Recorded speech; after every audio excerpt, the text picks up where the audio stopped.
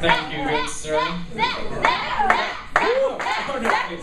Please, please. That's it. I love you, Zack. I love you too, buddy. Okay, moving right along. All right, I'm Zack, as most of you know, and whenever I was asked to do this, I all week was thinking of all these different ideas of what to talk about, teach, whatever, and um, it wasn't until very recently. I was not procrastinating. I want that to be understood. It wasn't until very recently that I was willed to speak this. And what I wanted to talk to you guys about was this little guy right here, the Bible. Most of you have read some of it.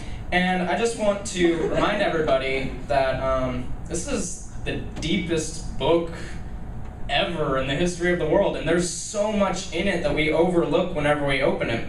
Like, um, I was at Jeremiah 14, 19, and at first glance, because I just flip around through the Bible, I would not try and read the whole thing yet.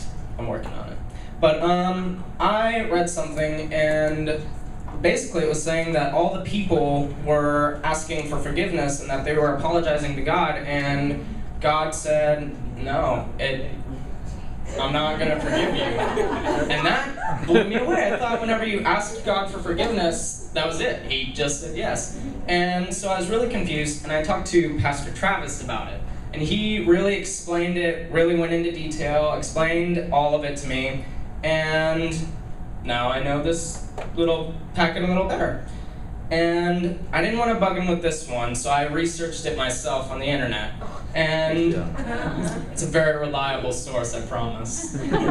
Matthew 5 16, it says that we should do our good deeds publicly for all to see. And then on the next page, the very next page, Matthew 6 1, it says, do your good deeds in private so no one can see.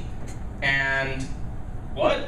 That really confused me. So I looked it up, and basically what I found is that um, he, it's a very delicate balance. He wants our motivation to be right. Yes. He wants us to do good deeds in public to reflect God. So that way Amen. people see God in us. So that way we're better Christians. And then in 6 1, he says not to do it for our own honor because that's not what Christians do. Christians are to reflect, reflect God and the Lord. And Hallelujah! Hallelujah! Amen! Alright, so I just wanted to remind you guys to do your research. Don't just skim over the Bible. It's. We still, out of everybody in the whole world collectively over the ages, we still don't understand it all. So just whenever you're reading, do your research, do your homework, figure it out. Um, the website I used was www.biblegateway.com, Yes. Yeah. and the pastor I used was that one over there. Yeah.